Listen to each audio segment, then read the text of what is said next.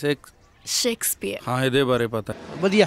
ਬਹੁਤ ਅੱਛੀ ਥੀ ਹਨੀ ਬਹੁਤ ਵਧੀਆ ਮੂਵੀ ਸੀ। 4 4.5 I think four. ਪੰਜੋ ਪੰਜ। 5 out of 3 ma'am 5 out of 3 3 star ਮੇਰੇ ਕੋਟ ਪੈਂਟ ਨਾਲ ਜੱਚਦੇ ਆ ਨੀ ਤੇਰੇ ਸੂਟ ਚੱਲ ਰਾਂ ਵਾਲੇ। ਮੇਰੀਆਂ 2 ਮਹੀਨੇ ਦੀਆਂ ਛੁੱਟੀਆਂ ਪੈ ਗਈਆਂ ਨੇ। ਮੈਂ ਤਾਂ ਮਿਲਣ ਆਇਆ ਕਰੂੰ ਰਾਤ ਨੂੰ। ਸਾਡੇ ਪਿੰਡ ਪਹਿਰਾ ਲੱਗਦਾ ਕਾਲੇ ਕੱਛਿਆਂ ਵਾਲੇ ਆਉਂਦੇ ਨੇ। ਉਹ ਆਸ਼ਕਾਂ ਨੂੰ ਤਾਂ ਰੱਬ ਵੀ ਨਹੀਂ ਰੋਕ ਸਕਦਾ।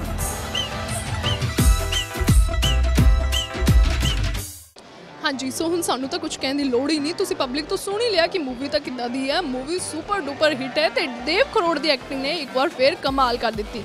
ਸੋ ਪਬਲਿਕ ਦੇ ਅਕੋਰਡਿੰਗ ਇਸ ਮੂਵੀ ਨੂੰ ਮਿਲਦੇ ਹਨ 4.5 ਆਊਟ ਆਫ 5 ਸਟਾਰ ਵੈਲ ਤੁਸੀਂ ਵੀ ਆਪਣੀ ਟਿਕਟਸ ਫਟਾਫਟ ਬੁੱਕ ਕਰੋ ਤੇ ਕਾਕਾ ਜੀ ਵੇਖਣ ਜਾਓ। But till then stay tune with FYI media group